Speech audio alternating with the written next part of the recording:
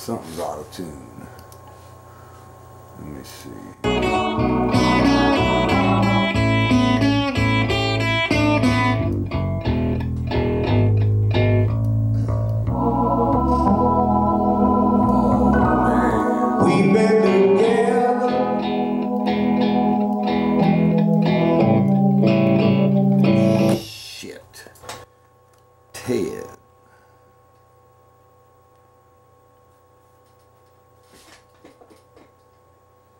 Ted.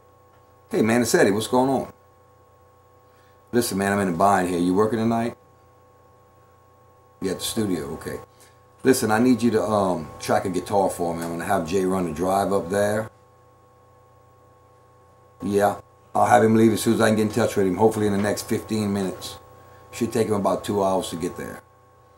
Yeah, he'll just wait. When y'all done, he'll take it back. Okay, man, I appreciate it. Okay, bye.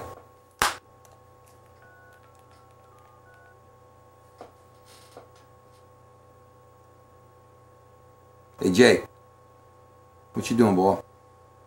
Listen, I need you to do something for me. Yeah, I need you to take a drive to Beaumont. I need you to leave now. Okay, man, hurry up. All right, bye.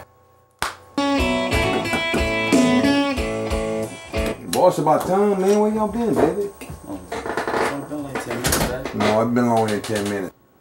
You sure? Hmm? Look, I need you to take this drive to Mr. Ted's Studio in Beaumont. Don't fight around, boy. Go straight there. Wait with the drive. Don't go get something to drink. Don't go get nothing to eat. Wait with the drive. Come straight back. Okay? All right, get out of here. Hey, we still, uh, we still walking and stuff? Look, goddamn, boy, I told you I'm in a hurry. Just go with the drive. Don't worry about tomorrow, okay? Make it the drive there and get it back. All right, we'll talk about it in the morning. I just wish Mr. I just wish Mr. Glenn would have did that check the guitar and made sure it was all good. Yeah, we're gonna be getting back early, early in the morning, man. Yeah, it's gonna be pretty late.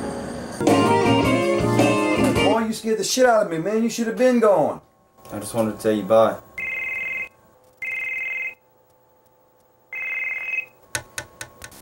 Adrian, Hey, Mr. Eddie, where the hell y'all at? we in Beaumont. You're not in Beaumont. Yeah, Beaumont. Jay's here right now. He's telling me bye. What? Look, man, Jay just got hit by a car, dude. He's dead. What? Yeah, he's dead.